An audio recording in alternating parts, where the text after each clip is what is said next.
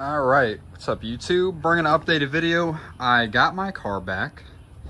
I am so excited. I'm I'm so excited. I got like I got my car back. I've been like y'all know, like what was the date on that last video? Like June 3rd. I've been without my car since June 3rd. And it's it, it's like what June 24th, 25th now, something like that. So like basically two and a half weeks, so going on three weeks without the car um, for all those errors that I was getting in the last video. And if you don't know what I'm talking about, like I'll, I'll put it, or, or also I'll put the errors on the screen. But like, look, you know, this video is for anybody who has a Model 3 or a Model Y and you're getting the same errors that I was getting. And again, like those, those screenshots were just on the screen with those errors so you could see what I'm talking about.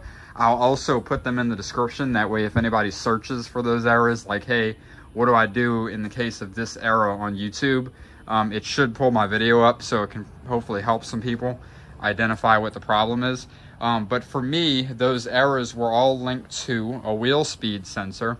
And I'll put up uh, on the screen for about four seconds so you can read it, or you can pause the video and read it, what Tesla service said the uh, wheel speed sensor was. And it was covered under warranty, despite um, the car having um, the lift kit on it, as you can see um, they did warranty cover it. At first, they did try and blame um, the errors on the lift kit, but after doing their investigation, they did realize that it was one of the wheel speed sensors. And I'll um, I'll show you here what it is. So, so right right there. I don't know if y'all could see that. Y'all see that black wire? That's the wheel speed sensor and it runs all the way up and it runs on this collar here and down behind the wheel. So, and that blue thing there, that's part of the lift kit, right? It just mounts on top of the springs and that's how it lifts the car. It's very simple. So there's no way that could have caused a problem with that wire. Like it doesn't even affect the distance on the wire. Like, you know, it's totally separate. So, and like, as y'all can see, like that wire, like if it'll focus is, um, you know, it, it's a brand new, um, brand new wire. Like everything's new on it. So, but like if y'all are getting those errors that again are in the description on the screen, it very well could be that little sensor. And the fact of the matter is with it being a Tesla, if one sensor goes out, um, you know, the whole car pretty much breaks.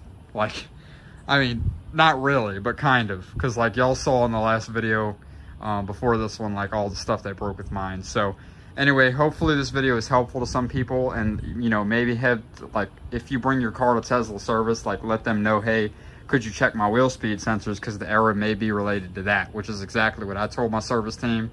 And when they did, they found out that the error was related to the wheel speed sensor.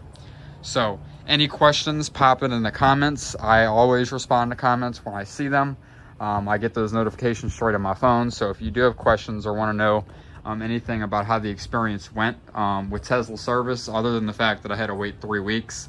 And let me preface this. The reason I had to wait three weeks to get the car back is not because that's how long it took them to fix the sensor. It's because they were booked um, all the way until July 14th with other cars and they squeezed me in. So that's why it took three weeks is getting the staffing um, available uh, from doing other Teslas and other jobs to be able to have the time to look at my car is why it took so long.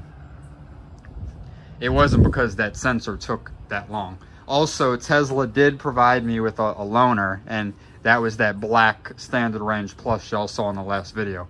So I just wanted to make sure that was in here, that Tesla did take care of me and take care of the whole situation. And I ended up coming out of this not having to pay anything because of a basic vehicle warranty. And also the lift kit did not void the warranty because the lift kit didn't cause the failure. The sensor just failed. So anyway, hope it was helpful.